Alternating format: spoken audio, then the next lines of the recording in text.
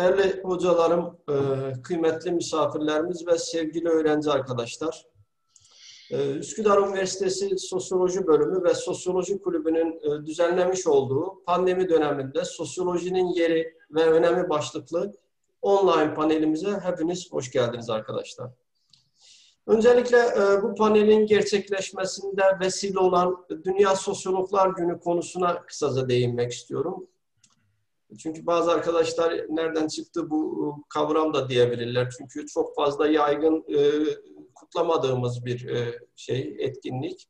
Çünkü Sorbonne Üniversitesi'nde Sosyoloji Fakültesi'nde temelini oluşturan Rus okulunun 14 Kasım 1901'de açılması nedeniyle 14 Kasım dünya genelinde Sosyologlar Günü olarak kutlanmakta uzun süredir özellikle e, bu Balkanlarda, Doğu Avrupa coğrafyasında bununla ilgili olarak farklı etkinliklerin yapıldığını biliyoruz. Biz de bölüm olarak her sene bugünü farklı konularla el almaktayız.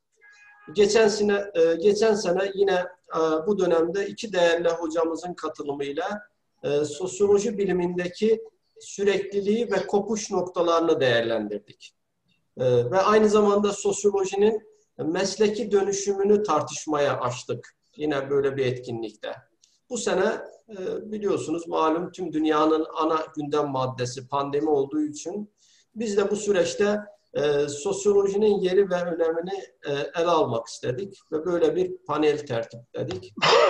Yani e, özellikle bu Covid-19 salgınının dünya genelinde toplumsal yaşamlar üzerinde belli etkiler bıraktığı bilinen bir gerçek.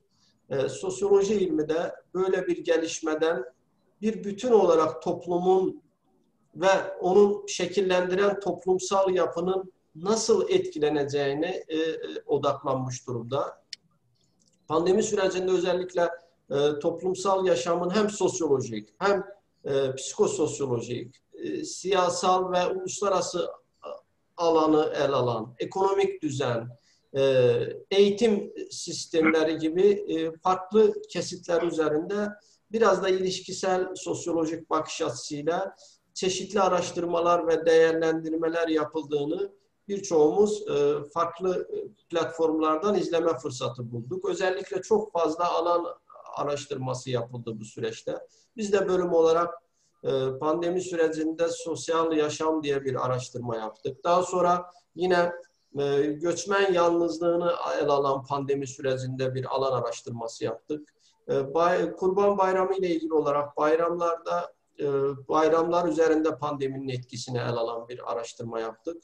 E, ya bayağı bir e, sosyolojik anlamda çok e, zengin bir dönemdi pandemi süreci bu anlamda. Çünkü özellikle sosyolojik muayeneyle dayalı bir yaklaşımla salgının toplum üzerindeki etkilerine bir ayna tutulmaya çalışıldı.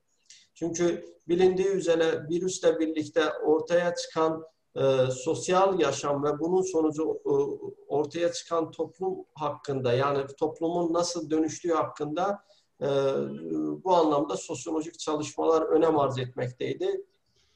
Ve bu bağlamda da e, Türkiye'deki sosyologların ve dünyadaki sosyologların e, çok e, verimli bir süreç geçirdiğinin altını çizelim. Ve bu, e, bu, bu konuyu bugün biz yine e, alanında önemli çalışmalar yapmış hocalarımızla da değerlendirmeye devam edeceğiz. E, kendilerine özellikle bizim bu önerimizi kabul ettikleri için ve bugün bu panelde bizi şereflendirdikleri için teşekkür ediyorum bir kez daha huzurunuzda. Ve hemen e, pane, panelimizde e, iştirak eden hocalarımızla ilgili olarak bilgi vermek istiyorum. Profesör Doktor Fahri Çakı hocamız Balıkesir Üniversitesi Sosyoloji Bölümü öğretim üyesi. Aynı zamanda Balıkesir Üniversitesi Rektör Danışmanı. Hocam görev devam ediyor değil mi yine? Herhangi bir... Yok, o, o yok evet. öyle bir şey. Eh, evet.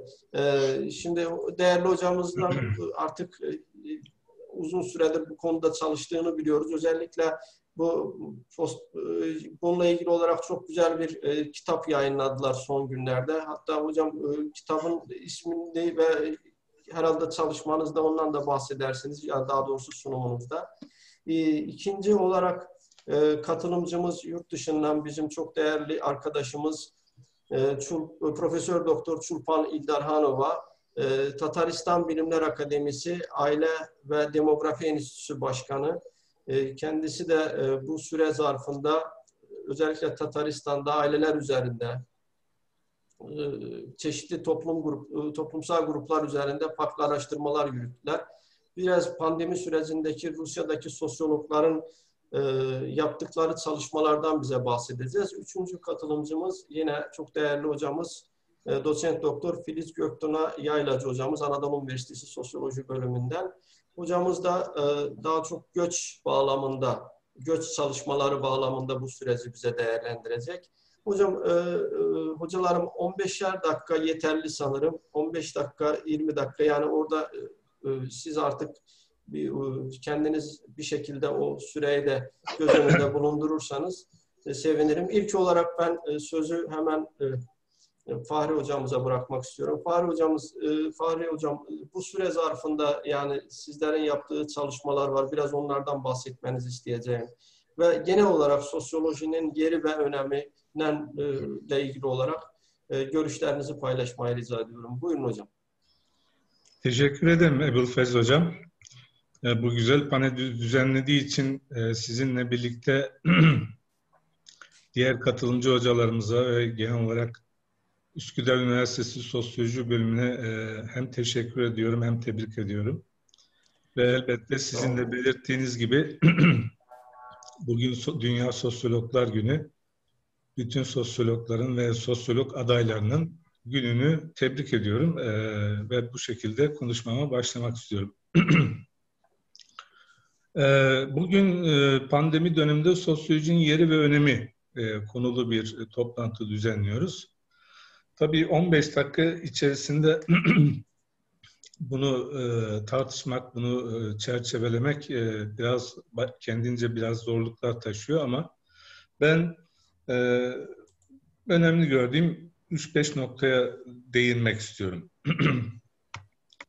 Öncelikle e, pandemi döneminde sosyolojinin yeri ve önemi bence pandemi olmayan dönemlerde sosyolojinin yeri ve önemiyle e, benzerlikler taşıyor. Yani arada e, çok köklü, radikal bir değişik farklılık olduğunu düşünmüyorum ben. Şimdi pandemi hayatımızın içinde hepimiz gözlemliyoruz, deneyimliyoruz. E, sosyal hayatımızda köklü değişimler yaratıyor. Normal hayatımız ve bu hayat içerisindeki birçok temel alışkanlıklarımız bir kesintiye uğruyor ve dönüşmek zorunda kalıyor. Özellikle fiziksel mesafe kısıtlamaları, bununla ilgili uygulamalar, affedersiniz, sosyalleşme süreçlerimizde de, derin kırılmalar yaratıyor. Bizi adeta sanal e, sosyalleşmeye zorluyor. Şu anda da onun bir örneğini yaşıyoruz. Tabii bunun yanı sıra eğitsel e, ve ekonomik ilişkiler ve faaliyetler de bu süreçten çok derinden etkileniyor. Artık kalıcı olması beklenen yeni bir normallikten söz ediliyor. Bence bu yaşadığımız bu deneyimler ve bu yaptığımız bu gözlemler sosyolojinin doğuş koşullarındaki e, bazı özelliklerle yakın e, benzerlikler gösteriyor. Genel olarak söylemek gerekirse sosyoloji özellikle hızlı ve sos, hızlı sosyal değişim ve dönüşüm dönemlerinde e, beliren toplumsal sorunlarla çok daha yakından ilgili. Kuruluş aşamasında da, kuruluş döneminde de böyle olmuştu. Bugün de bunun bir örneğini yaşıyoruz. Yani pandemi de böyle hızlı sosyal değişim ve dönüşümlerin yaşandığı bir dönem aslında. Böyle dönemlerde sosyoloji beliren toplumsal sorunların sistem içinde kalarak yani mevcut sosyoekonomik ve politik sistemi tehdit etmeden bu sorunların analiz edilmesini ve çözümler üretilmesini öngören e, bilimsel bir kimlik kazanmış ve kurumsallaşmıştır e, sosyoloji biliyoruz, bildiğimiz gibi. 19. yüzyıl boyunca sosyolojinin yüzleşmek zorunda kaldığı başlıca sorunların sanayileşme, kentleşme, göç, gelir dağılımındaki adaletsizlikler ve sosyal hareketler gibi makro konular, makro sorunlar e, olduğunu biliyoruz. E, bütün bilim iddialarına rağmen daha e, doğuşundan itibaren sosyoloji bu makro konular karşısında aslında bir taraf olarak bir şey başlamıştır. bu tarafkirlik e, merhum Baykan Sezer veya Edward Said gibi birçok hocaların dikkat çektikleri bir tarafkirlik. e, dünya egemenliğini ele geçiren ve onu kalıcı kılmaya odaklanan e, Batı kapitalizmi bu tarafkirliğin e, adresi. Bütün kapitalizm eleştirilerine rağmen Marx da dahil olmak üzere klasik sosyologların tamamı Batı merkezli bir toplum ve tarih tasavvuru üzerine analizler yapmışlar, toplumsal analizlerini yapmışlar. Ve Batı dışı toplumları ötekileştiren, Batı'nın kuyruğuna yapışmaya salık düşünceler ortaya koymuşlardır. Bunları biliyoruz. Bununla birlikte 20. yüzyıl boyunca ve tabii ki 21. yüzyılda dahil buna Durkheim, Marx, Weber üçlüsünün ve onların takipçilerinin Eurosentrik bakış açıları ve bu bakış açılarıyla üretilen eserler, düşünceler çok ciddi içeriden ve dışarıdan eleştirilere maruz kalmış. ve pozitivist, modernist paradigmaya meydan okuyan yeni sosyoloji anlayışları ve araştırma gelenekleri doğmuştur biliyoruz.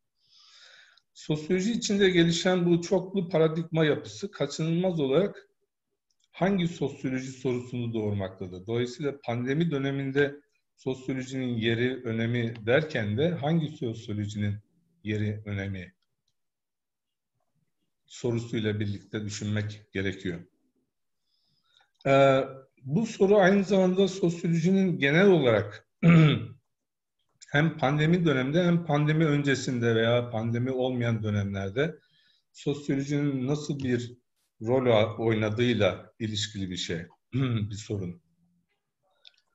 Her şeyden önce sosyoloji akademik bir etkinlik olarak e, karşımıza çıkıyor. Rolleri itibariyle düşündüğümüzde. E, sosyologların kariyerlerinde yükselme maksatlı yaptıkları ve genellikle de kendi çevrelerinden başka kimsenin okumadığı bir araştırmalar e, ve yayınlar yığını karşımıza çıkıyor sosyolojinin işlevlerini düşünürken ilk dikkatimize çeken hususlar, dikkatimizi çeken hususlardan birisi bu. Buna ek olarak uygulamaya dönük bir meslek olarak e, sosyoloji karşımıza çıkıyor. E, sosyolojinin bu boyutu başkaları tarafından hazırlanmış anketleri uygulayan belli formların doldurulması ve takibinden sorumlu. Bir çeşit teknis, teknisyenliğe dönüşmüş bir meslek görünümü veriyor e, e, sosyoloji çoğu e, koşullarda. E, tabii bu akademik ve akademik bir etkinlik olarak ve meslek olarak sosyoloji sosyolojideki en eski tartışma konularından birisiyle doğrudan ilişkili. Yani sosyoloji değerlerden arınmış olmayı gerektirir mi sorusu. Hepimizin bildiği gibi Auguste Comte ve Marx bu soru karşısında e, Weber'den farklılaşıyor. Comte ve Marx gibi sosyologlar, sosyologların sosyal hayata müdahale etmelerini ve değişimin öncüleri olmalarını savunuyorlardı. Bu anlayış sosyologların sosyal sorunlara çözüm olacak araştırmalara yönelmelerini gerektiriyor. Buna karşılık Weber, sosyolojinin değerlerden yalıtılması gerektiğini yani objektif olarak veri toplamayı ve analiz etmeyi savunuyordu onun bakış açısına göre bu anlamda üretilecek olan bilginin uygulama ile ilişkisi sosyoloğu pek de ilgilendirmez. Tabii Weber'in bu e, pozisyonuna karşılık e, değerlerden tamamen bağımsız bir sosyolojinin mümkün olup olmadığı e, sorusu e, sürekli e, gündemimizde oldu. Ayrıca sosyologların fiili e, çalışmalarına baktığımızda da e, bu çalışmaların da işte değer yargılarından tamamen arındırılmış olmadığını da görüyoruz. Dolayısıyla çok gerçekçi bir e, yaklaşım değil Weber'in yaklaşımı. E, tabii bu durum e, yani sosyologların e, mesleklerini veya araştırmalarını icra ederken e, bilerek veya bilmeyerek belli değerlerden ve politik kaygılardan hareket ediyor oluşları gerçeği. Bir yandan sosyolojinin bilim olma e, iddiasını tırnak içine alırken diğer yandan da sosyolojinin e, iktidarla ilişkilerinde etkiler. Dolayısıyla sosyolojinin e, pandemi sırasında da pandemi dışındaki dönemlerde de e, dikkatimizi çeken veya muhtemel rollerinden birisi de iktidara hizmet etme. Tabi buradaki e, iktidardan kastımız siyasal iktidarla sınırlı değil. Daha çok Foucault'un, Gramsci'nin ve benzeri e, düşünürlerin kastettiği an boyutta iktidarı kastediyoruz. İktidar bilgi üretimi arasındaki ilişki sosyolojide içine alabilir. Sosyoloji iktidarın eylem ve isteklerini meşrulaştırıcı bir rol oynayabilir. Bu tabii ki pandemi için de geçerli. Sosyologların geçimlerini sağlamak için özel ya da resmi bir kurumda istihdam edilme zorunlulukları, onların araştırmalarına ve yayınlarına yön verici nitelikte olabilir. Yine sosyolojik araştırmalara fon sağlayan kuruluşlar da bu araştırmaların amacını, formatını, sınırlarını belirleyebilir.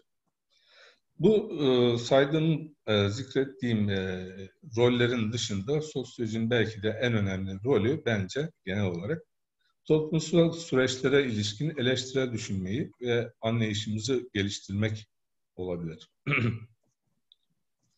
Sosyo, sosyoloji içerisindeki özellikle sosyal inşaatçı anlayış bu açıdan önemli toplumsal süreçleri ve aktörleri onların gözüyle görebilmek, onların algıları ve deneyimleri hakkında bir anlayış geliştirmek, daha iyi bir düzen kurmak için kuşkusuz işlevsel.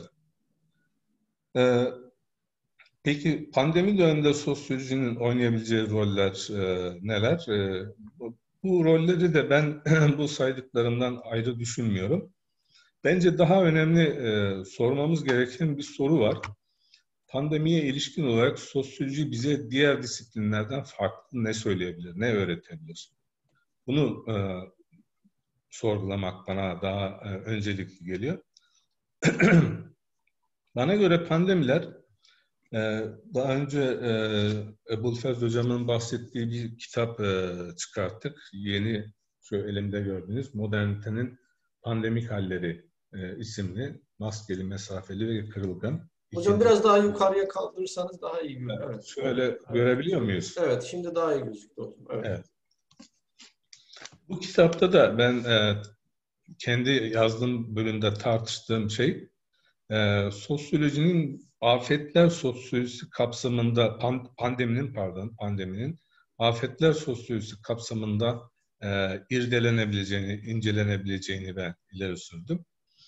E, her ikisi de e, aslında sosyal fenomenler. Yani afet de bir sosyal fenomen, e, pandemi de bir sosyal fenomen. Yani görünüş itibariyle birisi doğayla ilgili, birisi tıpla ilgili, sağlıkla ilgili ama e, biz e, afeti veya pandemiyi virüslere indirgeyemeyiz, depremlere indirgeyemeyiz.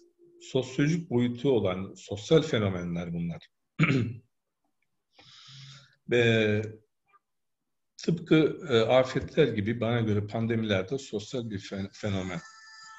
Peki e, afet nedir? Şimdi Kuantelli diye bir e, Amerikalı sosyoloğun e, sosyolog var. Bu konuda iki tane kocaman e, What is e, Disaster adında e, iki tane büyük e, şey kitap, edisyon kitap e, çıkarmıştı. Orada da e, çok tartışılan, birçok yazar tarafından tartışılan bir şey. Aslında göreceli bir kavram e, afet. Ama birçok e, kaynakta da e, aşağı yukarı benzer özellik e, kelimelerle ifade edilen bir tanım var. Şöyle tanımlanıyor afet.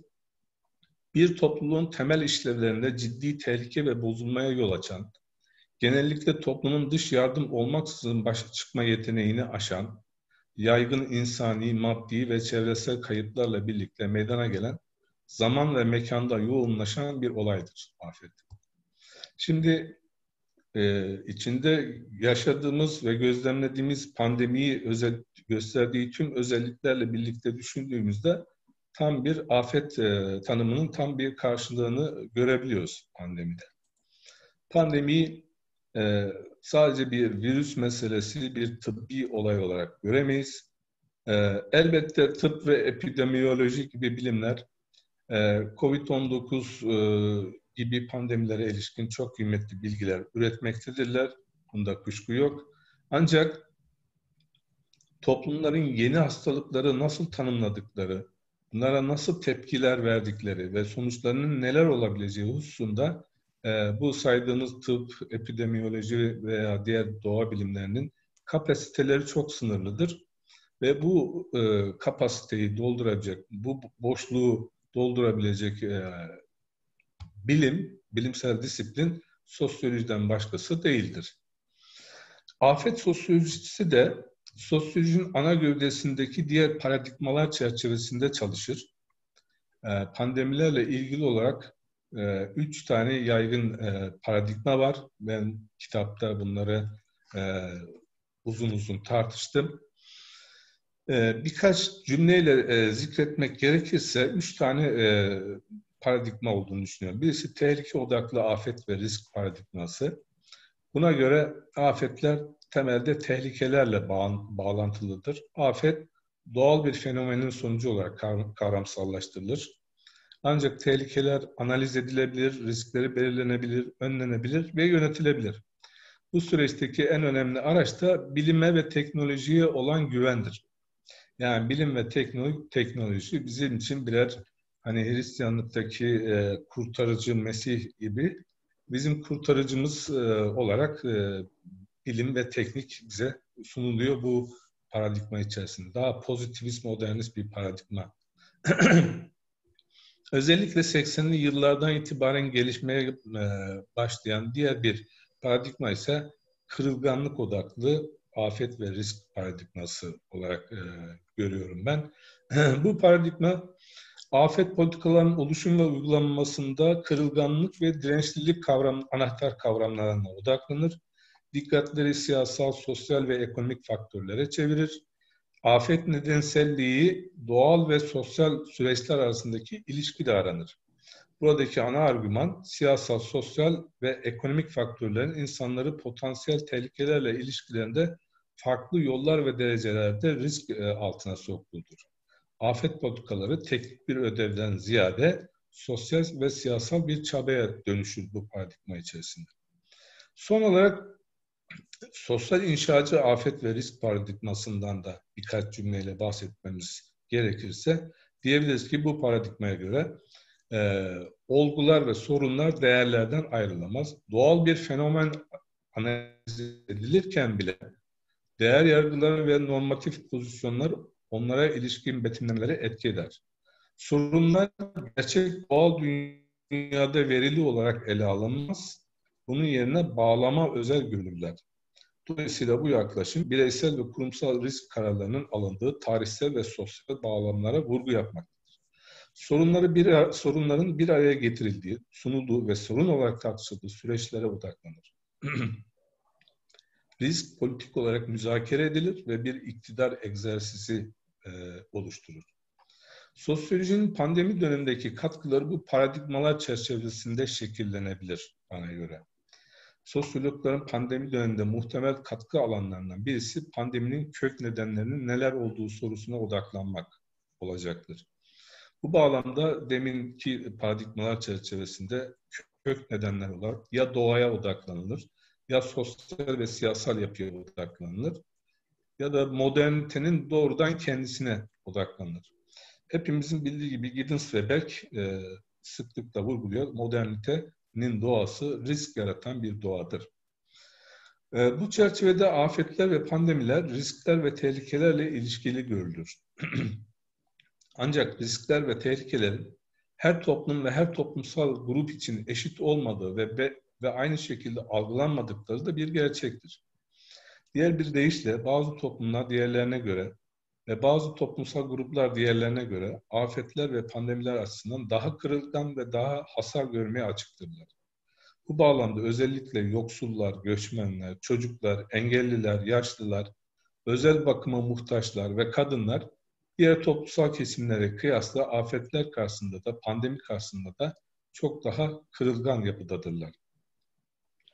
İşte sosyolojinin pandemi döneminde de, diğer dönemlerde de ikinci bir ortaya çıkabilecek ikinci bir katkısı da bu toplumsal eşitsizlikler içerisinde kırılgan toplulukların dirençliliklerinin arttırılmasına yönelik bilgi üretimi ve çözüm önerileri e, geliştirmek olacaktır. Bence sosyolojinin çok önemli bir başka katkısı da e, özellikle sosyal inşacı afet paradigması kapsamında pandemiler ve pandemi risklerine ilişkin sosyal, sosyal kültürel algılar, iktidar ilişkileri, kullanılan dil, tarihsel ve sosyal bağlam temelinde pandemilerin sosyal inşaat süreçlerine odaklanmak olacaktır. Dolayısıyla sonuç olarak pandemi döneminde sosyolojinin alabileceği bir değil, birçok yön ve birçok roller olduğunu düşünüyorum ben. Ee, bu pandeminin sosyal süreçlerini ve etkilerini bağlam odaklı olarak ele almak, yani genel geçer her toplum için e, ortak sayılabilecek e, analizlere e, yönelmek yerine e, ülke odaklı hatta bölge odaklı e, analizler yapmak, e, bölge odaklı pandeminin e, algılarını, e, deneyimlerini e, ve sonuçlarını e, incelemeye çalışmak e, en önemli ihtiyaç olarak görünüyor bana. E, süre sınırlamasından dolayı burada ben e, kal, durayım. Belki katılımcılardan sorular gelirse elimden geldiği kadarıyla e, yanıtlamaya çalışırım. Sabırla dinlediğiniz için teşekkür ediyorum. Umarım süremi aşmamışımdır. Hocam çok teşekkür ederiz. Çok önemli noktalara değindiniz. Ben notlar aldım. Özellikle bu başlıklarla baktığımız zaman sosyoloji iktidar ilişkisi, toplumsal süreçlere ilişkin eleştirel düşünce, sosyolojinin e, bize diğer disiplinlerden e, bu süreçte ne farklı olarak ne söylemesi ve bir de o paradigma yaklaşımları bağlamında sosyolojinin yerini el almanız bu açıdan e, hem bize hem öğrencilerimize çok önemli bir bakış açısı sundu. Teşekkür ediyorum. E, sözü ikinci hocamıza bırakmadan önce ben e, Tuğba hocamızdan, Tuğba Aydın Öztürk hocamızdan kısaca İngilizce e, Fahri hocamızın e, sunduğu fikirlerin şöyle kısa bir özetini rica edebilir miyim değerli hocam? E, doktor öğretim üyesi Tuğba Aydın Öztürk, Üsküdar Üniversitesi Sosyoloji Bölümü öğretim üyemiz. Hocamızdan e, kısaca e, İngilizce bir özet. Çünkü hem öğrencilerimiz var burada, e, yabancı öğrencilerimiz var ve aynı zamanda Çulpan Hanım var burada. Kendisi de evet. Buyurun hocam. E, herkese merhabalar. Bu arada e, Fahri Hocam çok güzel bir konuşmaydı. Çok teşekkür ediyoruz. E, çok ufuk açıcıydı. Okay, hi everyone and uh, thank you for being here for today. Uh, we have uh, three uh, wonderful guests uh, and um, actually they are talking about the, the, the, the importance of the society and you know social uh, phenomenon on pandemics. And, and actually as a social scientist, as a sociologist, how we can um, you know the focus on the, the important uh, facts uh, during COVID-19 as a as a you know as a big uh, important um, problem for all of us, for all society, not only in you know our local places, also in international level and you know the global level. So uh, the, actually, um, the, the, professor uh, Fahri Chakı, um, uh, he he really um, um, I think explained very well the topic in terms of you know the uh, disasters and pandemic uh, in society, in different society. And thank you for all of this information.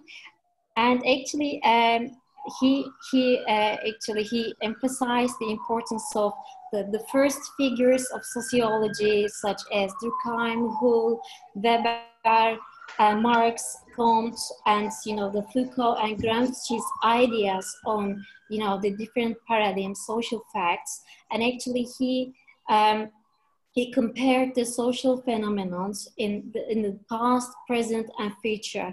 So I think the, the idea of these uh, the, these uh, wonderful presentations that the, the, the main idea is the question. We, we, we should uh, ask, okay, what is the role of sociology and sociologists during the pandemic and after this new normal life?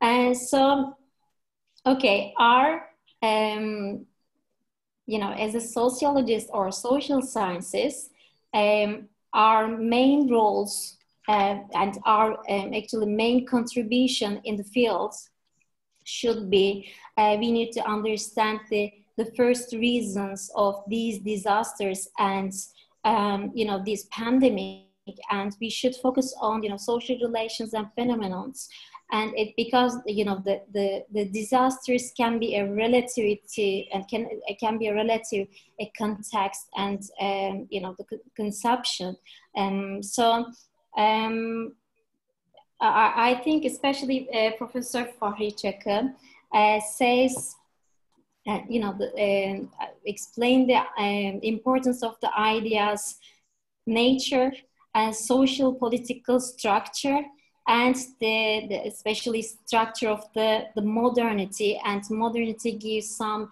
risks about um, you know society in in this era. So I think it says pandemic is related to risks in our daily life and and danger.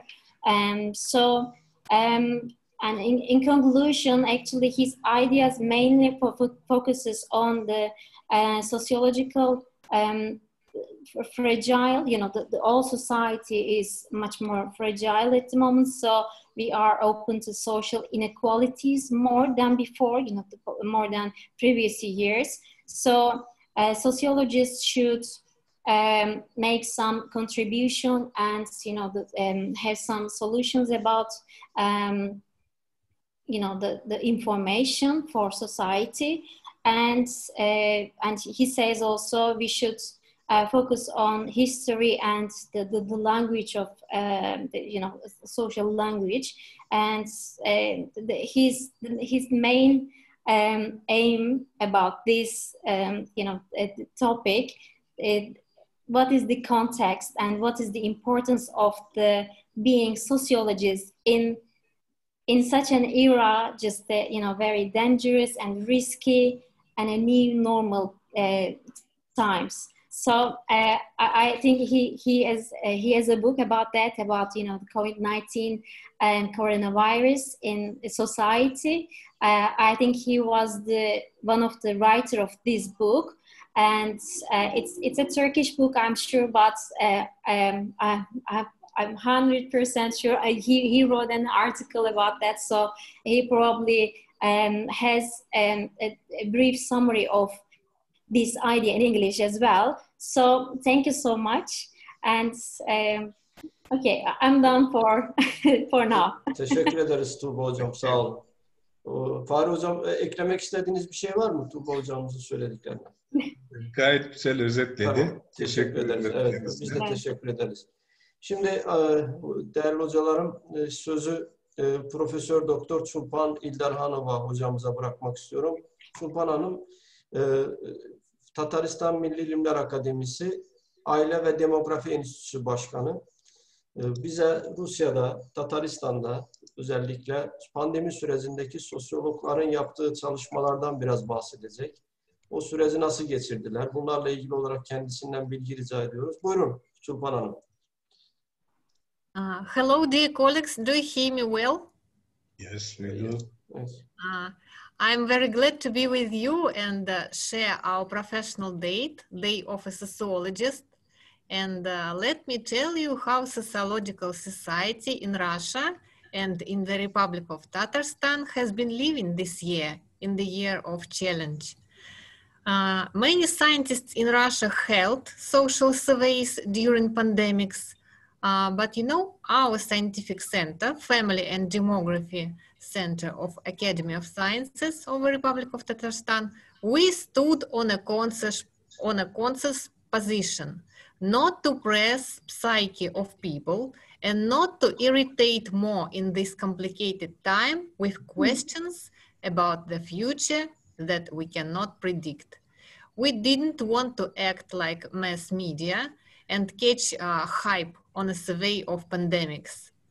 Uh, you know, sociologists need to stay human sometimes. Uh, Russian Fund for Fundamental Surveys announced new grants for researchers on pandemics. And it is based, it is a based position to work on methodology first and ask proper questions next. It is a real battle, you know, to make sociologists keep on working on a high professional level and make a hypothesis about influence of some factors on behavior and perception of pandemics before you print a questionnaire. Uh, concerning influence of pandemics on birth and death rate, we will be able to make conclusions only when we get statistics on the whole year. At the beginning of this year, President of Russian Federation, Vladimir Putin, introduced new measures of support to families with children and more measures in the period of self-isolation. We will see how it worked in complex with COVID situation together. Now let me uh, pass to our survey. In 2020, this year, we held a survey, men and children, and interviewed 1,300 men. We fulfilled this empiric work as a part of our project, uh, Generative Behavior of Russian Men in Terms of Demographic Crisis. Uh, responsibility for the birth rate is always held on women and we changed this direction of researches and we are discovering role of men in demographic growth of Russia. In other words, our goal is to research whether Russian men want children and if they are ready to take part in their upbringing. We found out that in period of self-isolation, married men were not ready to spend that much time with the family and children, I mean in Russia. Russian men lacked personal space. What's more, men told us that they got to know their wives better and not from the best side. Uh, we consider it is much connected with the fact that men had uh, to help about the house and solve household problems. At the same time, single men, they re-evaluated advantages of living alone and started to think more, uh, more often about marriage and kids. Uh, Turkish men who are listening to me now may be surprised about this conclusion. And we have to admit that there is no worship to father-parent relationship in Russia. And we are jealous how Turkish men adore their kids and how much time they spend together. I hope all of you are feeling well. Take care. Best wishes from Tatarstan. If you have some questions, I can uh, move on the discussion. Te e, teşekkür Peki. ederiz. Teşekkür ederiz. Thank you very much. Başarı spasiba. Filiz Hocam e, kısaca sizden hocamızın e, evet bir Türkçe Türkçe bir özetlemenizi rica edeceğim arkadaşlar için. Hocam e, immunity yapabilir misiniz? Sesiniz herhalde tam. Evet. Çok özür dilerim. Estağfurullah. E, yakalayabildiğim kadarıyla e, aktarayım. Rusya ve Tataristan'da e, özellikle sosyolojik çalışmalardan yani bu alanda yapılan sosyolojik çalışmalar e, ve e, metodolojisiyle ilgili e, çalışmalar yani farklı alanlarda çalışmalara yöneldiklerinden söz etti hocamız. E, özellikle bu çalışmaların daha sonra aile ve ailedeki e, toplumsal cinsiyet rollerine e, yöneldiğinden e, söz etti. Bunların içerisinde e, evli erkeklerin e, ev işi e, işlere e, karışması ve bunun yani bununla birlikte da, yani dahil olması, bununla birlikte e, aile ve çocuklarla yoğun vakit geçirilmesi, e, buna bağlı yaşanan sorunlar. E, bir taraftan da bekar erkeklerin e, bu anlamda biraz daha görece avantajlı konumları ama aynı zamanda belki hiç düşünmedikleri kadar çok evlilik ve çocuk hakkında e, düşündükleriyle ilgili e, bulgular edindiklerini e, söyleyebiliriz kısaca toparlamak gerekirse. Hocam çok Ben, teşekkür ben ederim. bir şey ekleyebilir Evet. miyim? Buyurun, buyurun hocam. Kaçırdığım yerde. Özellikle Çulpan Hanım'ın son konuşmasının son kısmında e, Rus erkekleriyle Türk erkeklerini karşılaştırdı. E, ve bu bağlamda Türk erkeklerin, Türk babalarının e, çocuklarıyla e, çokça zaman geçirdikleri, kaliteli zaman geçirdikleri, ev işlerinde yardımcı oldukları e, gibi bir bulguya değindi. Dolayısıyla e, şunu demek istiyor herhalde. Ey Türk kadınları, kocalarınızın, erkeklerinizin kıymetini bilin demek istiyor herhalde. Hocam ben de şöyle bir ekleme yapayım. Daha önce göndermiş olduğu kısa bir özet vardı Şulpan hocamızın bize. Orada da şunun altını çizmiş. Ee, yani özellikle bekar erkekler bu sürede yalnızlığın ne derecede e, çok fazla çekilmez bir olgu olduğunu farkına varmışlar ve evlilikle ilgili olarak yeniden düşünmeye başlamışlar şeklinde bir kısa bir özeti de vardı. Onun da altını çizelim. Kendisine teşekkür edelim ve hemen hocamıza, Filiz hocamıza sözü bırakmak istiyorum. Filiz Hocam, hocamız Ben bir e, PowerPoint hazırlamıştım. Bir takım rakamlar ve görseller paylaşmak istiyorum. Onu paylaşma olanağım olabilecek mi acaba? Bir dakika hocam size e, ben o zaman şey yapmam lazım. E, Bengi Hanım e, Feliz, thank you for translation. Yok, bakalım. Onları aslında Filiz hocam onu evet sizi e, beni host yaptı herhalde. E, Bengi hocam e, hocamızı host yapmamız mümkün mü acaba? Hocam bir şu mut yazan yerdeki üç noktadan Evet onu ben çalışıyorum. onu, onu ben de Filiz hocam. Ya bunu siz sizi host yapmaya çalıştım ama bacarabilecek. Hocam isterseniz bana şey mail olarak gönderin hemen onu o şekilde ben yükleyeyim eğer mümkünse. Şehir screen'den olmuyor mu Ebil? Onu Filiz Hoca Şehir- screen. Bir dakika.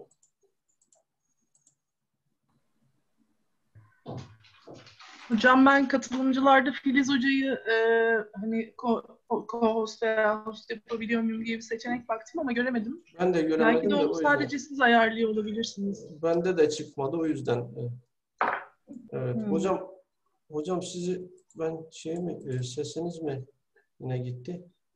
Ben mi yaptım onu? onu? Kapalı şu anda.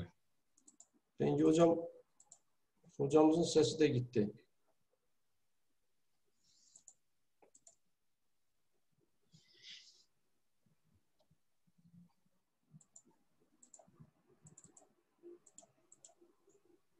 Hocam şimdi konuşmaya çalışın. tamam ses ses sorunu Evet. çözdüm herhalde. Evet, evet hocam. Ama slide paylaşımı yapamıyorum. O zaman ben size mail atayım hocam. Tamam hocam. Ben mail atın. Ben e, siz başlarken ben daha sonra onu yüklemeye çalışayım. Tamam. Geçireceğim aşağıya. Bir indiremiyorum. Bak şuradan bir çıkayım. Bir saniye.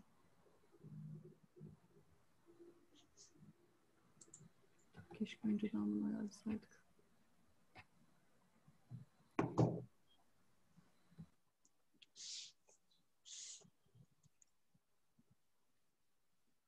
Hocam sesiniz yine gitti herhalde.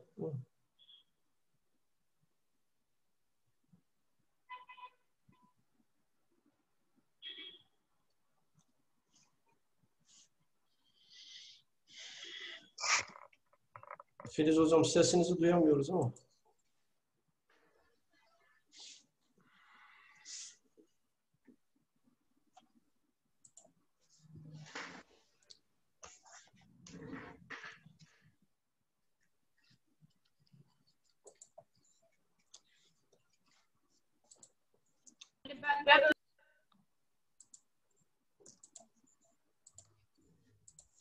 Hocam sesinizde bir sorun var. Sanırım bir immün...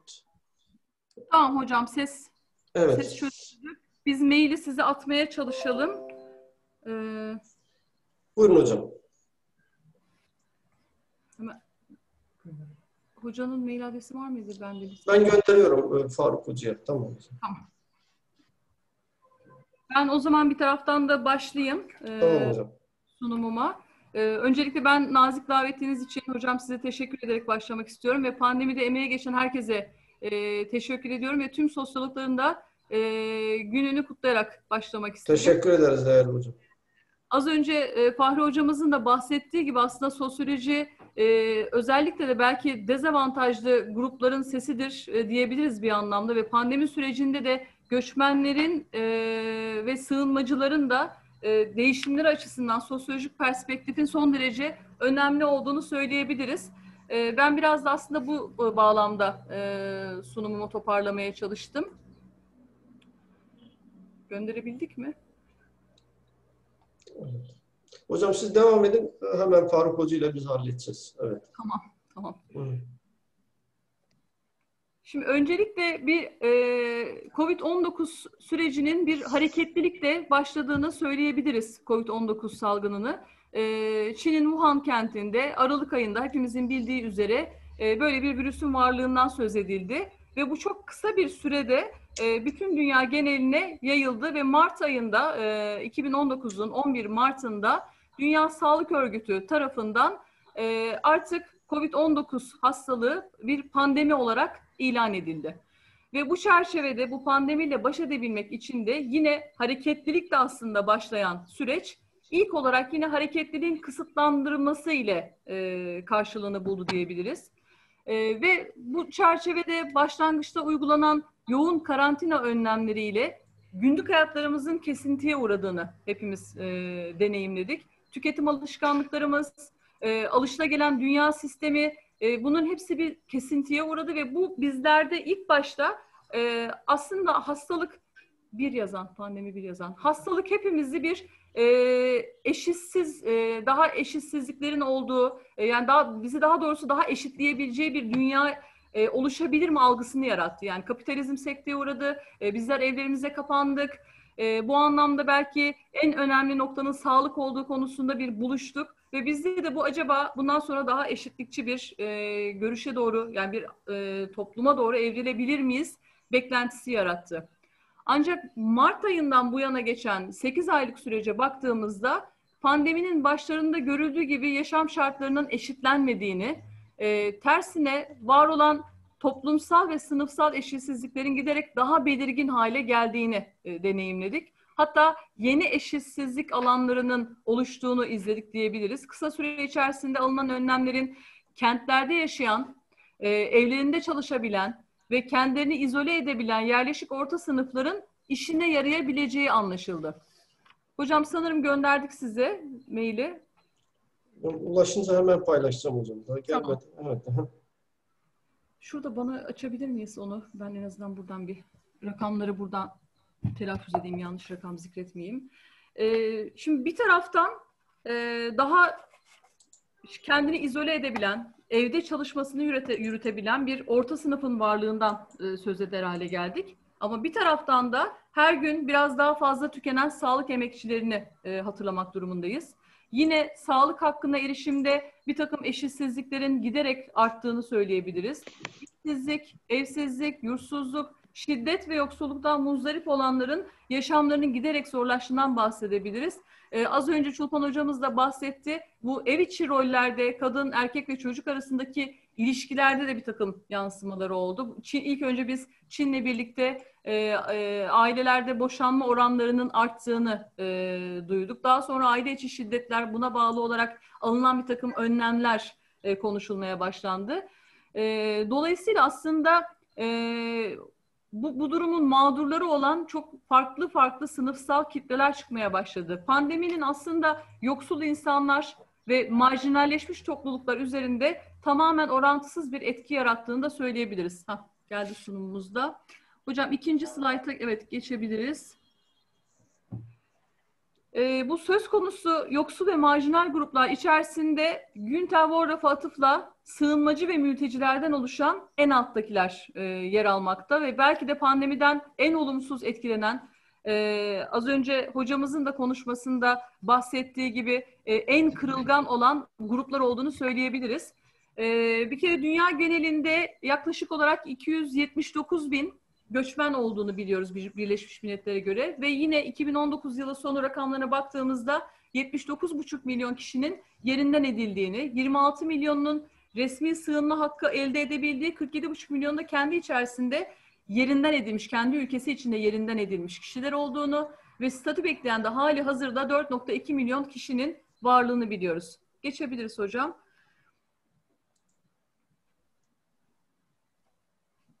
Bir, bir sonraki slayta geçebilir miyiz hocam? Ha, tamam, yok yok bir öncekiydi. Çok özür dilerim.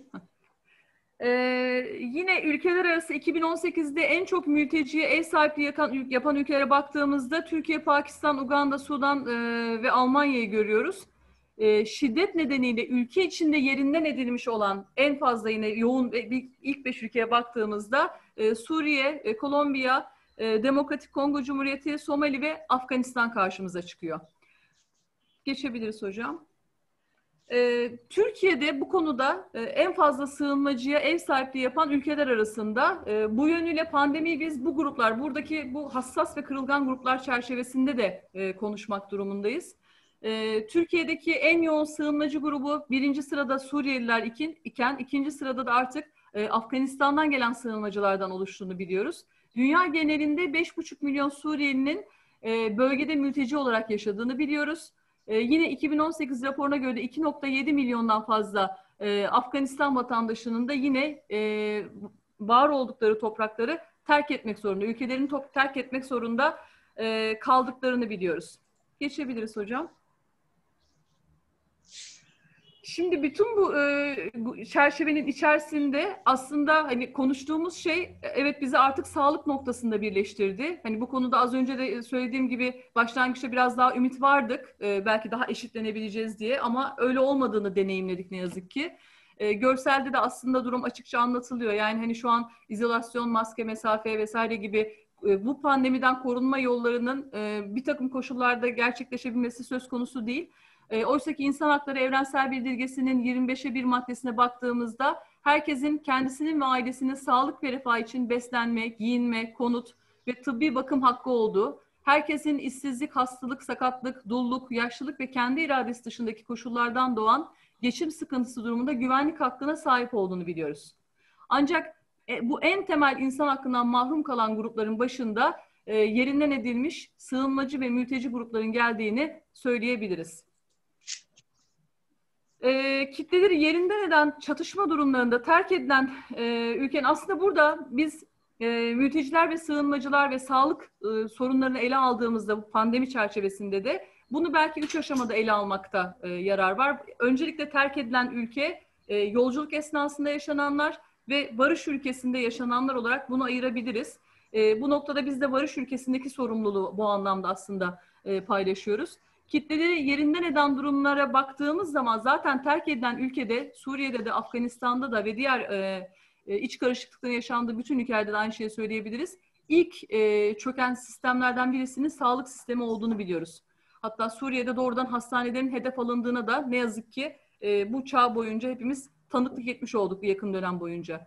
Aşılama gibi koruyucu sağlık hizmetlerinin ve tedavilerinin kesintiye uğradığını biliyoruz. Kişileri göç etmeye zorlayan durum aynı zamanda onların hastalanması ya da sakatlanmasına yol açabilmekte. Çünkü altyapısı çöken yerlerden bahsediyoruz. Bir kere temiz suya erişimleri vesaire hepsinin bir anda kesintiye uğradıkları bir durumu yaşıyorlar.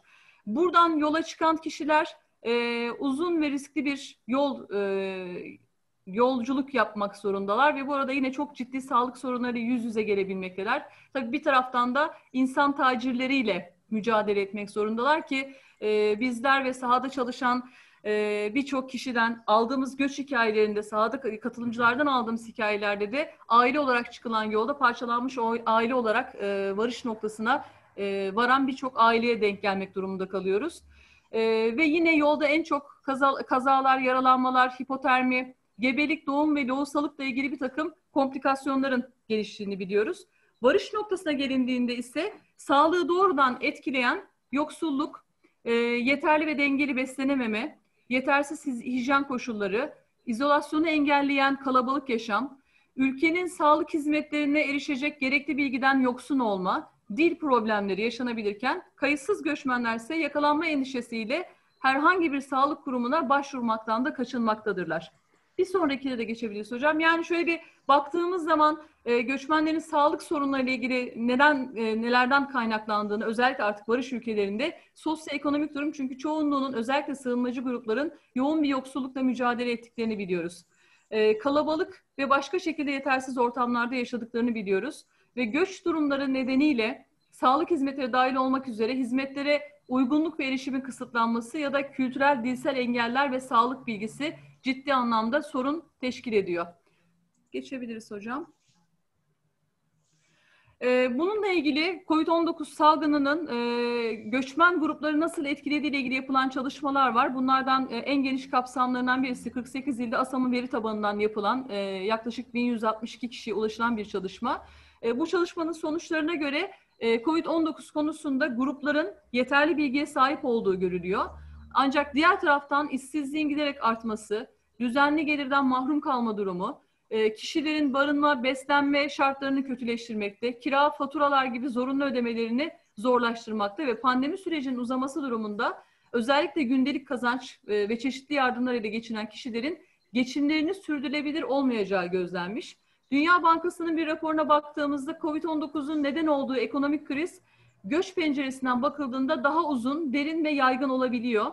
Ee, karantina ve kısıtlamalar, seyahat yasakları, sosyal mesafeler, küresel ekonomik faaliyetler neredeyse durma, durma noktasına geldi. E, ve bu anlamda da göçmenler bulaş riskiyle, e, ayrıca olası iş kaybıyla, e, yetersiz ücretler ve sağlık sigortası eksiklikleriyle karşı karşıyalar. E, bir taraftan da yine Dünya Bankası göç akımlarının düşmesini muhtemel görmekte ancak uluslararası göçmen stoğunun da hemen azalmayacağı yönünde e, öngörüleri bulunmakta. Ee, yine OECD'nin e, raporuna göre koronavirüs göçmenleri çok daha orantısız bir şekilde etkiledi. Ee, göçmenlerin virüsü kapma olasılığı nüfusun geri kalanından iki kat daha fazla. Ee, mülteci kampları COVID-19'dan önce de halk sağlığı ve insan hakları e, uzmanları için çok büyük bir endişe kaynağıydı. Örneğin Myanmar'dan ayrılan, Bangladeş'e taşınan yaklaşık 900 bin e, Rohingya mültecisi arasında geçtiğimiz Mart başında çok sayıda koronavirüs vakası tespit edildi. Geçebiliriz hocam. Ve e, şöyle bir kısaca toparlayıp bu iş, e, salgının e, sonucuna baktığımız zaman bugün dünya genelinde COVID-19 ölümlerinin 1 milyonu aştığını söyleyebiliriz. Ancak ölümlerde de bir eşitsizlik söz konusu. Virüse bağlı ölüm sayıları Amerika Birleşik Devletleri'nde yoksul silah, siyahlarda diğer gruplara göre çok daha yüksek. E, İngiltere'de yaşlı Pakistanlı göçmenler gibi düşük gelir gruplarına mensup etnik azınlıklarda COVID-19 sebeple ölüm oranları yaşlı İngilizlere nazaran çok yüksek seyrediyor. Türkiye'de de tablo benzer. İstanbul, İzmir, Gaziantep gibi büyük şehirlerde yaşayan göçmenler salgından en kötü etkilenen gruplar arasında gösteriliyor. E, Eskişehir'de de e, biraz daha yerele inersek vakaların az görüldüğü yaz aylarında en çok etkilenen gruplar yine sığınmacı gruplar olmuştur. Şimdi bunun yanı sıra bir noktaya daha değinmek istiyorum ben e, sunuşumu tamamlamadan. E, bir taraftan e, göçmen ve sığınmacı grupların en kırılgan gruplar olduğunu söyledik. Yine Wolraf'a atıfla en alttakiler olduğunu söyledik. Bunu doğrudan etkileyen bir diğer mesele de medya ve medya temsili meselesi. Buna da değinmeden açıkçası bugün konuşmayı noktalamak istemedim. Çünkü bu gruplarla ilgili eğer sahada çalışmıyorsanız ya da özel olarak e, STK temsilcisi değilseniz, sahada bu grupları e, temas etmiyorsanız, e, gruplarla ilgili bütün algımızı edindiğimiz tek kaynağımız medya. E, ve medya bu anlamda yine Lipman'ın dedi, e, deyişiyle e, kamuoyu yaratma gücüne sahip ve medyada genellikle mültecilerin e, yanlış temsillerine tanık oluyoruz, ötekileştirildiklerine tanık oluyoruz. E, sahte haberler, yanlış bilgilendirme ve konuların siyasallaştırılması belirsizlik ve kaygı dönemlerinde daha da yaygın olma eğilimine giriyor ve bununla birlikte göçmenlerin damgalanması, dışlanması, e, göçmenleri tedavi aramak yerine potansiyel septomlarını gizlediği, gizlediği daha yüksek risk taşıyan bir duruma yöneltebiliyor.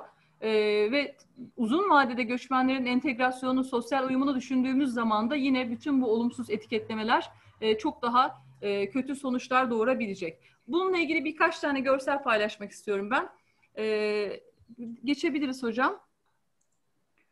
Ee, örneğin Eskişehir'deki e, işte yaz döneminde Afgan aileler arasında patlak veren COVID-19 ile ilgili birkaç haber var. Burada hem göçmenlerin yaşadıkları koşullar e, bir yandan e, dikkat çekiyor. Bir taraftan da e, haberlere konu olma durumları dikkat çekiyor. Çünkü aslında zaten salgından önce de göçmenlere yönelik olarak medyada e, daha böyle bir e, bulaşıcı hastalık taşıyan bir imajları zaten vardı. Bu Covid-19 ile birlikte aslında biraz daha belki e, belirgin hale geldi diyebiliriz. Eskişehir Afgan ailelerin pilav günü koronavirüs vakalarını arttırdı. 5 ev, beş eve daha karantina. Geçebiliriz hocam. Ee, yine mülteci evleri virüs nedeniyle karantinada burada bir mülteci evleri e, kategorisi yapılmış. Muhtara söz verilmiş. E, Huzur Mahallesi'nde Eskişehir'de Afgan e, mültecilerin en yoğun olarak yaşadığı mahallelerden birisi. E, ve burada aslında muhtar olayı e, yoksulluk temelinde oldukça iyi açıklamış. Yoksulluk nedeniyle e, artık yerel grupların yaşamak istemediği, e, ucuza kiralanabilen evlerde ve çok kalabalık olarak yaşadıklarını biliyoruz mültecilerin. Ama bu durum tabii muhtar için e, ben ve mahallede yaşayanlar da tedirgin olur. Allah yardımcımız olsun sözleriyle özetleniyor. Geçebiliriz hocam. Ee, yine Eskişehir polisi o mahallelerde alarma geçti. Ee, mahallede e, yine mülteci grupların yoğun yaşadığı mahalleler. Tabii burada bir parantez daha açmak gerekebilir. Eskişehir e, uydu kentler e, çok önemli bir uydu kenti Türkiye'de ve Kayseri ile aşağı yukarı e, hani böyle bazen Kayseri'nin öne geçti, bazen, bazen Eskişehir'in öne geçti. En yoğun e, şartlı mülteciye ev sahipliği yapan bir kent. E, bu mahalleler özellikle haberler habere konu olmuş ve burada işte e, polisin e, Türkçe, Arapça, Farsça hazırlanmış broşürlerle sağlık müdürlüğü personeli, tercümanlar ve mahalle muhtarları birlikte yabancı uyruklu vatandaşların ikametlerinin önüne gidip bilgilendirme, bilinçlendirme çalışmaları yaptığı e, anlatılıyor. Geçebiliriz hocam. Yine e, göçmenlerin yoğun olarak yaşadığı mahallelerin karantinaya alına, alındığı görseller. Geçebiliriz hocam. E, burada e, medya ile ilgili son iki görselimi paylaşacağım. E, hepimiz bunu pandeminin başında görmüştük. Aslında sadece mülteci ve sığınmacılar değil, e, bu salgının başlangıç döneminde fenotip olarak gözü çekik olan herkes toplumda bir kaygı uyandırmıştı. E, Tayvanlı bir göçmenin de işte sırt çantalısında e, işte Çinli değilim, e, daha sonra işte ölürüm Türkiye'm, Tayvanlıyım, ölürüm Türkiye'm şeklinde bir takım yazılar geçirdiği, bizde e, bizi hem tebessüm ettiren hem düşündüren bir e, şeyi de aslında gösterdi. Yani bir salgınla birlikte hemen bununla ilgili bir e, bir etiketlemenin de e, beraberinde geldiğini gördük. Geçebiliriz hocam. Ve son haber örneği de tabii ki sadece olumsuz haberler yapılmıyor. Olumlu haberlere de yer verilmiş ve belki bunlara daha fazla ihtiyacımız var. İşte bütün bu salgın sürecinde e, farklı e, Suriyeli doktorların da, farklı gruplardan doktorların da bu pandemide canla başla e, emek sarf ettikleri de e, haberlere konu oluyor. Diğerleri kadar olmasa da. Ve geçebiliriz hocam. Sonuç olarak toparlayacak olursak e, medyadaki bu olumsuz algıların e, bu süreçte daha da belirginleştiğini söyleyebiliriz. Uluslararası Göç Örgütü'nün açıklamalarına göre yüz binlerce göçmenin işini kaybettiğinden söz edebiliriz. E, ve bu ilk dönemdeki karantina süreci bitip işte kişiler işlerine dönmeye başladığında e, koruyucu ekipmanlar olmadan e, ki genelde çünkü çalıştıkları sektörleri biliyoruz göçmen grupların ikinci emek piyasasında e, daha korumasız, e, daha savunmasız, e, daha e, hassas noktalardalar ve buraya ekipmanları olmadan e, ve kalabalık ortamlarda çalışmak zorunda kalıyorlar. Sağlık hizmetlerine erişimde dünya genelinde sorun yaşanabiliyor. E, bu özellikle kayıtsız göçmenler için söz konusu. Kayıtsız göçmenler e, temel sağlık kurumlarına başvurabiliyorlar. Göç, örneğin Türkiye'de de e, 180 tane göçmen sağlığı merkezi var ama burada yapılan işte ateş ölçümü ve bir üst sağlık kurumuna e, onları sevk etmek. Eğer kayıtsızsanız oraya zaten gidemiyorsanız gidemiyorsunuz ya da giderseniz yakalanma e, korkusuyla, sınır dışı edilme korkusuyla bundan kaçan göçmenleri biliyoruz.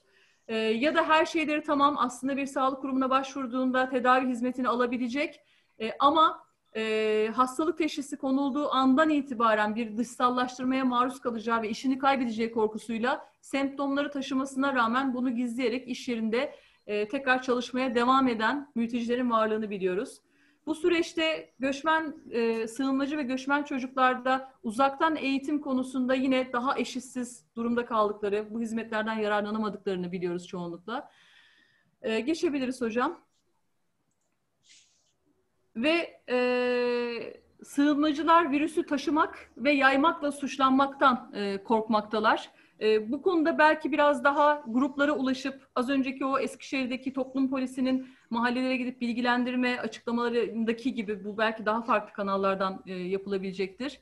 E, aslında burada e, negatif ya da pozitif bir ayrımcılığa uğramayacakları, karantina uygulamasının ceza amaçlı değil, kendilerini ve yakınlarını koruma amaçlı yapıldığının daha açık ifade edilmesi gerekli. Tabii burada yalıtım ve izolasyon dediğimizde e, bir evin içinde yaşayan çok sayıda e, mültecinin izolasyonu uygulaması da zaten çok mümkün aslında olamamakta.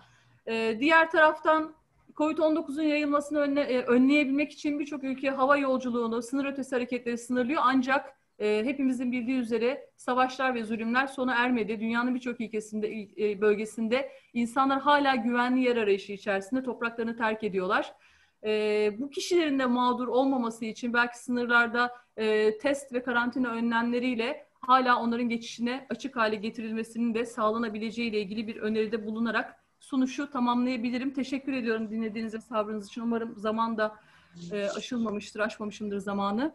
Hocam çok teşekkür ederiz. Ben... Gerçekten e, bize e, özellikle yani böyle baktığımız zaman aslında e, Fahri hocamızın sunmuş olduğu açı e, biraz daha böyle tem kuramsal hem aynı zamanda uygulamalı sosyolojinin bu süreçte ne yapması gerektiği konusunda çok önemli e, bize bu anlamda bir açı sunmaya çalıştı. Aynı zamanda e, yurt dışından katılımcı hocamızın Rusya'daki sosyologların bu süreçteki uygulamalarından bahseden bir sunumu vardı. Siz de en son olarak e, dezavantajlı veya kırılgan grup olarak nitelendirdiğimiz sığınmacıların, mültecilerin, göçmenlerin bu süreçte yaşamış oldukları sıkıntıları sosyolojik bir bakış açısıyla sunmaya çalıştınız. Sanırım bu anlamda e, bugünkü panelimizde de birçok yönüyle biz e, sosyologların bu süreçteki rollerine değinmeye çalıştık. Biriz hocam, yine bir beş dakikalık sizden kendi sunumunuzu İngilizce özetlemenizi rica edeceğim. Yabancı öğrencilerimiz var. Eğer iki üç cümleyle böyle hem hocamızı e, zor mu olur hocam? Benim için evet şu an açıkçası hiç hazırlanmadım hocam İngilizce olarak. Ee, destek olabilecek bir hocamız olursa. Bengi, Bengi Hanım burada mı bilmiyorum. Bengi hocamızdan rica edeceğiz. Çünkü Tuğba Hoca çıkmıştı. Ee, o yüzden Hı. ben kendisini şey yap. Bengi burada mısın? Buradayım hocam. Ee, bir sana zahmet o zaman bir iki üç dakikalık. Çünkü e, Hı hı. Tuğba Hoca'ya sordum ben. Ayrıldığını söyledi. Yani öğrencisi tamam. gelmiş. Evet buyur. Yani zaten temel noktaları aslında bir iki evet, cümleyle tabii, tabii, tabii, sadece değineceğim hocam. Um, in this presentation, um, our professor has touched upon some important points about the relationship between the pandemic and uh, and the migrants, the positions of migrants, uh, but not only just migrants, but also other fragile and uh, vulnerable social groups, um, because these groups were affected from the pandemic more than um, and more severely than other groups of the society. Uh, for instance, middle class um, could stay at home and work from home uh, safely, but um, other groups were trying to uh, find a place and um, still adapt to the destination country. And um, at the same time, they were prone to sickness and um, and the um, spread of the pandemic between them among these groups were much uh, faster. And due to some um, negative effects of uh, racism and racist attitudes towards them and the um, wrong representations by the media and so on, uh, made these groups hide their um, symptoms or sickness during the pandemic. So um, their health status became even worse. Um, I, I, think that's all. I mean, uh, it shows that the pandemic um, made explicit that the fragile groups um, health status and um, safety problems are more severe than other groups. And the pandemic unfortunately um, showed that inequality is still valid. Evet. Hocam, beni duyuyor musunuz bu arada? Evet, evet.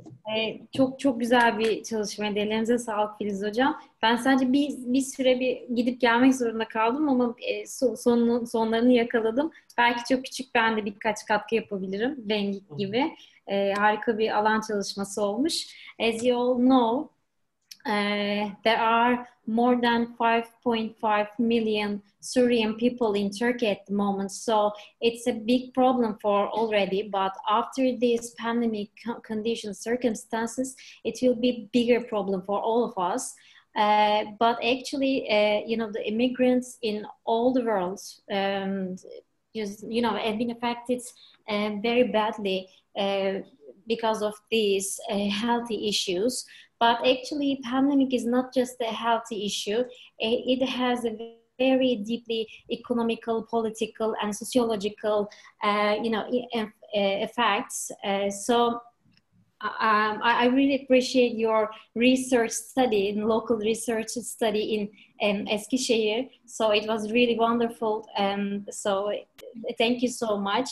Uh, um, and uh, Dr. Filiz Gök Göktuna, uh, you know, emphasize the importance of the uh, fake news during the pandemic, and actually, uh, this fake news or you know the the misdirecting of media, uh, you know. Um, are related these uh, fake news and you know these uh, misunderstandings are related to you know uncertainties and these uncertainties and bad economical situations um, affects uh, immigrants more. Uh, I, I, and also I want to share the examples in UK and in USA. I think they, they are really important. And, and you said um, especially you know the um, poor black people has just died before the uh, you know this coronavirus health issues because of the you know lack of money lack of resources lack of social policies and uh, the, the comparison between you know all pakistani people you know immigrants uh, who live in you know different cities in um, you know UK and they actually uh, mostly live in London and you know the, the, the more broader area in in you know south and north of the United Kingdom and if we compare the you know the uh, that numbers uh, unfortunately especially uh, old Pakistani people had just died more than you know, old um, British people more. So we need to interpret and we need to uh, rethink about uh, the problems of the, you know, these uh, migrants and these uh, migration social policies more. Um, you know, especially at the, the at the beginning of the new normal and you know the and the uh, other years. So thank you so much. it was a brilliant presentation, and thank you for listening for all. Teşekkür ederiz Tuğba Hocam. Ee, Filiz Hocam çok teşekkür ederim. Ben teşekkür Şimdi ederim. e, üç hocamızı da dinledik. Ee, sorular var. Hocalarım e, o soruları da arkadaşlar e, yani chat kısmından yazdılar. İsterseniz onları da yönelteyim. Kısaca onları da yanıtlamaya çalışalım. Fahri Hocam'dan başlayabiliriz. Fahri Hocamızın Rumeysa Torun arkadaşımızın bir sorusu var. Hocamızın diyor bahsettiği konuyla ilgili olarak sosyoloji ve iktidarın nasıl bir e, ilişkisi vardır? Ayrıca Marx ve Weber'in savunduğu düşüncelerden bahsetti Fahri hocamız. Bu düşünceleri tekrar söyleyebilirse memnun olurum. Bütün hocalarıma bu kıymetli bilgiler için teşekkür ederim demiş Rümeysa Torun. Evet hocam, e, herhalde not alıyor Rümeysa. O yüzden o kısmı tekrar etmenizi istiyor. Buyurun değerli hocam. Biraz daha herhalde belki bir açıklama fırsatı da olur tekrar. Evet. Şimdi aslında e, sosyoloji e, tarihinde de gördüğümüz klasik bir tartışma. Sosyolojinin e, ve sosyoloğun e, rolü ne olmalı? Yani değerler bağlamında e, kendi değerlerin, e, kendisi bir takım değerlerden kendini yalıtarak kimliğini e, bir kenara koyarak sosyoloji yapması mümkün mü değil mi? E, yani Weber'in bahsettiği anlamda objektif, nesnel, değer yargılarından arındırılmış bir sosyoloji mümkün mü değil mi tartışması e, sosyoloji tarihi kadar eski bir tartışma. E, yani Marx bu konuda e, bu değerlerden arındırılmış bir e, sosyolojiyi e, hem mümkün görmüyor hem de istenen, arzulanan bir eylem olarak da görmüyor. Çünkü eğer herhangi bir değerden bir, e, bir takım e, kaygılardan yola çıkmıyorsanız e, sizin araştırma yapmanız da pek olası değil. Yani neyi araştıracaksınız, niçin araştıracaksınız sorusunu yön veren e, aslında e, bizim kimliğimiz ve e, değerlerimiz. Şimdi iktidar ve e, sosyoloji arasındaki ilişkiyi sormuştu galiba bir de arkadaşımız. e, yani çok basit olarak şunu söyleyelim. Sosyolog e, yaptığı araştırmalar ve ürettiği e, verilerle e, iktidarın çıkarlarına hizmet edebilir. Onun iktidarın eylemlerini ve istemlerini meşrulaştırmaya çalışabilir. Mesela demin Filiz Hoca'nın bahsettiği bağlamda göçmenlerle ilgili birçok söylemler üretiliyor. Medya da üretiyor bunu. Ama bu sadece medyaya özgü bir durum da değil. Bunu sosyologlar da yapabilirler.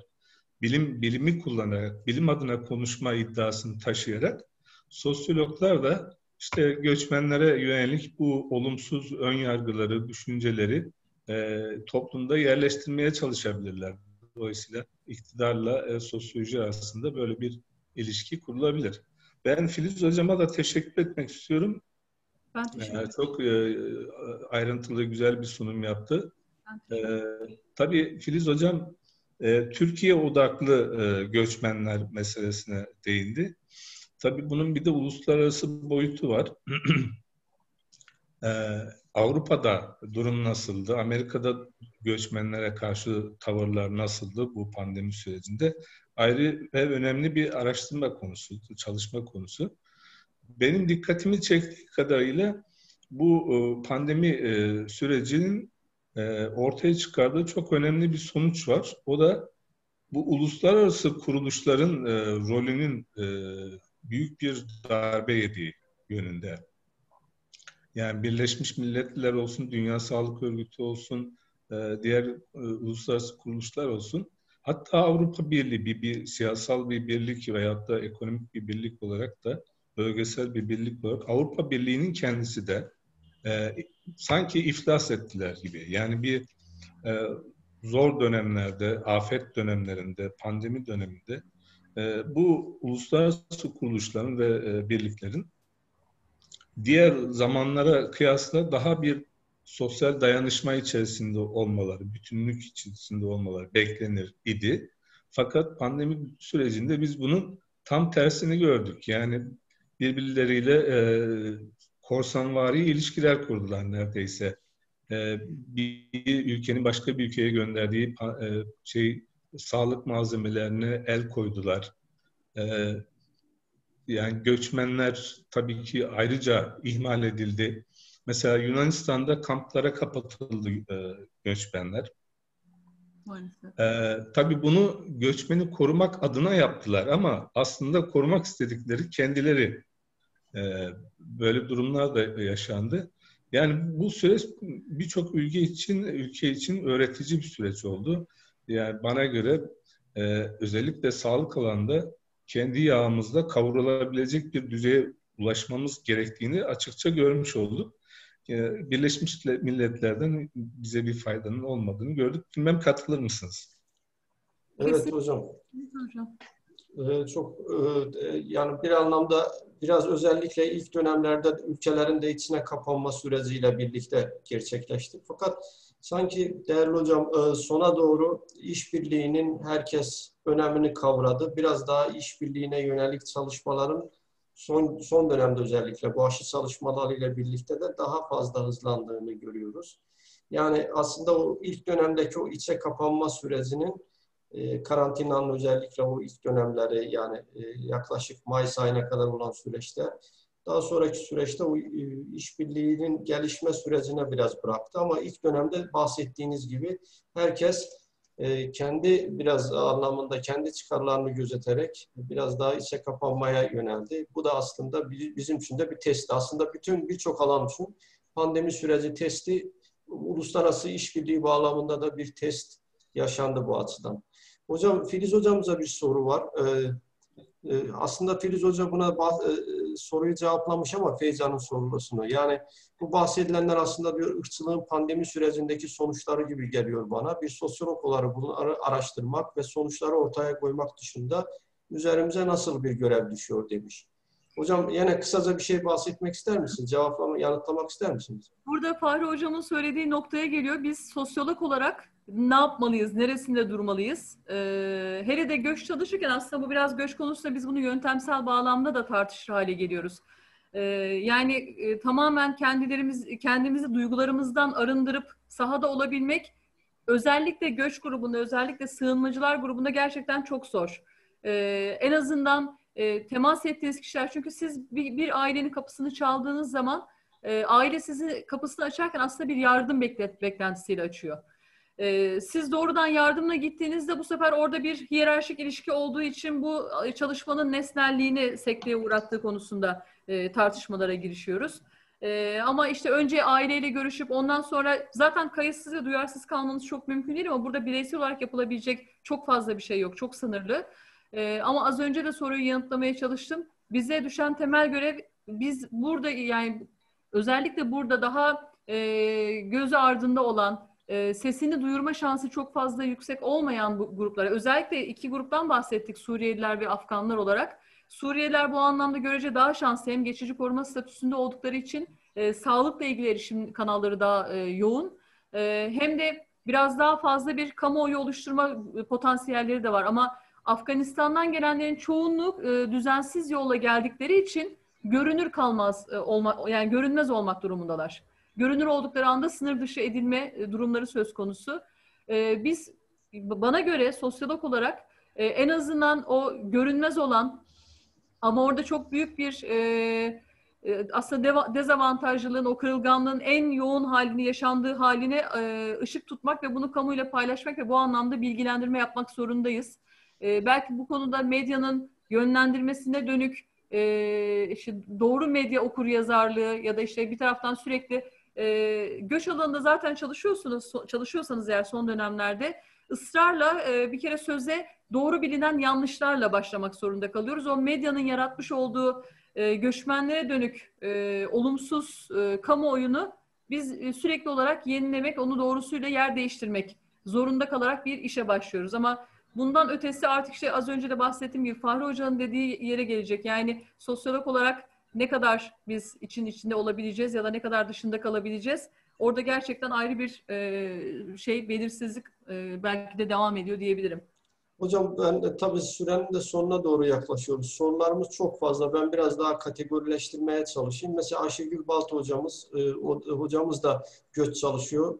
E, Filiz hocamdan e, bir isteği var. Yani bunlarla ilgili bir veriler var mı diye sormuş. İsterseniz Filiz hocam e, siz de chat kısmından Ayşegül hocaya cevap yazabilirsiniz. Bu, bu. Daha sonra Nacihan akımının Fahri hocamızın bahsettiği pandemi sürecinde hayatımızda kalıcı olan ve kalıcı olacağı öngörülen değişiklikler nelerdir? Ee, böyle bir sorusu var. Ee, yeni normal hayat ifadesi sosyolojide ortaya çıkan dönem olduğu gibi yeni bir başlangıçta yaşatabilir mi topluma ve sosyolojiye demiş Emel Şenel. Ee, yeni normal sonrası toplumun bir daha eskisi gibi olur mu? İsterseniz bu üç soruyu hocam e, birleştirelim. Fahri Hoca'dan cevap isteyelim e, ve e, daha sonra e, biraz daha e, toparlamaya çalışalım. Çünkü zamanı da çok fazla zorlamayalım. Hocalarımızın da zamanını o şekilde almayalım. Zamanında bize ayrılan süreyi de biraz e, aştık durumda, aşmış durumdayız. Hocam buyurun Fahri Hocam sizden bir toparlama babında. Şimdi, e, yani pandeminin e, hayatımızda yarattığı ve sanki kalıcı olacakmış gibi görünen birçok etkisi var. E, e, bunları tek tek e, sıralamak e, biraz zaman alıcı bir şey. Ama e, her şeyden önce mesela e, sosyal ilişkilerimiz ve sosyalleşme e, durumumuzu çok yakından etkiliyor. Özellikle fiziksel mesafe uygulaması, kısıtlaması. Bu aslında bizi ta orta çağa götürüyor bu durum. Neden e, söylüyorum bunu? Çünkü orta çağda da biliyorsunuz e, veba salgını vardı ve İspanya'da yanlış hatırlamıyorsun. E, bu muhtemel veba taşıyıcılara karşı böyle bir takım e, dışlayıcı e, tavırlar geliştirilmişti. Herkes e, birbirini veba taşıyıcısı olarak görüyordu. E, bugün de benzer bir fotoğraf çıkıyor karşımıza. Herkes e, en yakınları da dahil olmak üzere birbirini muhtemel e, COVID-19 virüsünü taşıyan kişi olarak görüyor ve bu birbirlerimizden birbirimizden uzak durmak gibi bir sonuç yaratıyor. Ee, yani bizim aslında sosyalleşmek için zaman harcadığımız mekanlar e, kayboluyor, yok oluyor. Üçüncü mekanlar, e, üçüncü yerler diye adlandırılan sosyologlar içerisinde işte e, kafeler, restoranlar, ibadethaneler, kütüphaneler, birlikte e, sosyalleştiğimiz zaman geçirdiğimiz, bizim için kendimizi evdeymiş gibi hissettiğimiz e, özel mekanlardan uzaklaşıyoruz. E, ve biz daha önce de söylediğim gibi dijital ortamda sosyalleşmeye e, mahkum ediliyoruz, e, esir ediliyoruz adeta. E, bu e, insanlığın doğasına uygun bir şey değil bir açıdan bakınca. Kültür buradan çok kötü, e, olumsuz etkilenecek. Kültürel etkinlikler, alışkanlıklar. İşte hepimizin bildiği gibi e, düğünler yasaklandı. E, ondan sonra işte sünnet düğünü, evlilik düğünü, e, kına geceleri vesaire, e, asker uğurlamalar. Bunlar bizim kültürümüzün e, kendi kültürümüze özgü olaylar. E, tokalaşma her şeyden bir başka önemli olay. Bütün bu kültürel alışkanlıklarımız kayboluyor. Yani e, pandemiyi atlatsak bile şimdi biz şu anda Covid-19 pandemisini yaşıyoruz ama öyle bir e, şey özellikle medya hocamızın belirttiği gibi öyle bir senaryo çiziliyor ki e, Covid-19 atlatılsa bile yakın bir gelecekte X başka bir X hastalığı, X virüsü hayatımıza girecek. O virüsten korunmak için bu şu anda uyguladığımız tedbirleri biz devam ettireceğiz. Yani e, bu fiziksel mesafe e, ile birlikte bütün kültürel alışkanlıklarımızı neredeyse terk etmek zorunda kalacağız gibi ee, bir başka özel, e, bir başka etki e, belki siyasal açıdan değerlendirilebilir. Otoritenin her dediğine bizim uymamız, otoriteye itaat etmemiz gibi bir sorun da e, çıkıyor. Yani bazı rejimler, bazı yönetimler pandemi durumunu işte toplumda otoriter bir sistem kurmak, geliştirmek için bir fırsat olarak da değerlendirebilir. Bu açıdan e, ilginçtir birçok ülkede protestolar düzenleniyor e, bu kısıtlamalara yönelik. E, bu protestoları da iyice sosyologların anlaması lazım, incelemesi lazım. Nedir bu? Bunlar cehaletten dolayı mı?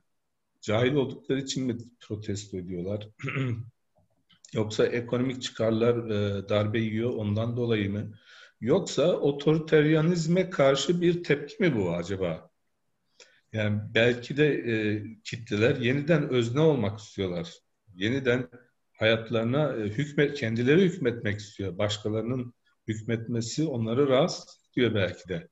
Dolayısıyla e, ekonomik açıdan, kültürel açıdan, e, sosyal ilişkiler açısından, siyasal açıdan e, çok derin ve kalıcı etkiler e, yaşadık, yaşıyoruz. Ve yaşamaya da devam edeceğiz gibi. Çünkü şimdiden bir X gelecekte şu anda adını bilmiyoruz. Bir yeni X hastalıkları, yeni X virüsleri mutlaka sokulacak hayatımıza. Sok girecek veya sokulacak gibi. Evet. Hocam sanki burada William Beck'in o risk toplumu kavramı artık günümüzde çok anahtar bir kavram olarak. Tabii tabii. Evet, çok daha belirgin bir şekilde kendini gösteriyor. Kapatmadan önce Bengi'nin bizim araştırma görevlimiz Bengi'nin bir sorusu var. Sanırım Filiz Hoca'ya yönlendirmiş. Pandemiyle birlikte özellikle evde kalabilen sınıfsal gruplar için siber mekanın iş, sosyalleşme ve serbest zaman pratiklerinin yürütüldüğü bir mekan olarak öne çıktığını gör, görüyoruz. Bu açıdan fiziksel mekan ve kamusal alan ile siber mekan ve özel alan arasındaki ayrımın belirginleştiğini ve bunun da toplumsal eşitsizlikleri artırdığını ve daha görünmez hale geldi, getirdiğini söyleyebilir miyiz? Zaman, zaman mekan dönüşümü açısından ne düşünürsünüz demiş. Filiz Hocam sizden de e, kısa bir yanıt alalım lütfen. Tabii ki, tabii ki. Kesin, yani zaten hocamız aslında cevap cevabı da içinde sorunun e, kesinlikle dönüştürdüğünü söylemek mümkün. Aslında bu da yine e, burada da aslında orta sınıfların biraz avantajına dönüşmüş durumda. Şu anda bizim burada e, bir araya gelip bu kadar kişi toplanıp bir şeyleri tartışıyor olabilmemiz e, ama bazı kişilerin e, altyapıya, teknolojik altyapıya ya da işte bu siber uzay e, mekan kısmında paylaşıma e, erişebilecek doneleri olmadığında o kişiler otomatik olarak zaten e, alandan dışlanmış oluyorlar. Orada da aslında bir eşitsizliğin e, belki yeni bir eşitsizlik e, boyutunun türediğini söyleyebiliriz. Yani bugün spor salonuna gidemeyen bir kesim e, evin içerisinde yine hocasıyla canlı olarak bilgisayar karşısında e, evinde spor salonunda belki ya da spor salonu yoksa bile spor aletleriyle sporunu yapmaya devam edebiliyor. Diğer bütün etkinliklerini yapmaya devam edebiliyor ama bu belirli bu gruplar için e, çocukların hani temel eğitim meselesinde de bugün hala e, eğitime erişemeyen çocukların varlığından da bahsediyoruz. E, dolayısıyla evet, ciddi bir dönüşüm ve ciddi bir eşitsizlik alanı olarak ben yeniden şekillendiğini düşünüyorum açıkçası. Evet, teşekkür ederim hocam. Sizlere evet, değerli katılımcılar, değerli hocalarım çok teşekkür ediyorum. Gerçekten e, çok e, önemli bilgilerle bugünkü Sosyologlar Günü'nü zenginleştirdiniz. Aynı zamanda e, bu bizi sabırla, şu an bakıyorum hocam 100 ile başlamıştık. 50 civarında katılımcı devam ediyor. Bu da aslında iyi bir rakam. Öğrencilerimize, bütün misafirlerimize çok teşekkür ediyoruz. Sosyologlar Günü kutlu olsun diyorum. İnşallah önümüzdeki dönemde, önümüzdeki sene pandemiyi konuşmayız. Daha farklı, daha belki daha biraz daha iyimser düşünmeye çalışıyorum. Daha güzel bir konuyla, daha yine sosyolojik içerikli bir konuyla Sosyologlar Günü'nü kutlama fırsatımız olur. Eğer e, hocalarım fark, e, yine söylemek istediğiniz bir şey yoksa burada kapatmak istiyorum. Herkese çok teşekkür ediyorum. Buyurun. Ben de hocam tüm katılımcılara ve sizlere ev sahipliğinize tekrar teşekkür ediyorum. Herkese sabrı tamam. için çok teşekkür ediyorum. Hocalarıma teşekkür ediyorum. Tekrar tanıştığım için çok memnun oldum hocam. Bu platformda evet. olsa sizleri tanıdığım için. Bu, yani bu, bu imkanlardan da istifade ediyoruz hocam. Yani bu sosyalleşme bağlamında. Evet. evet. Teşekkür ederim hocam. Hepinize iyi günler, hayırlı günler, e, sağlıklı günler diliyorum. Kapatıyorum. Teşekkür ederim. Sağ olun. İyi günler. İyi günler sağ olun. Hoşçakalın. Hoşçakalın. Goodbye. Goodbye.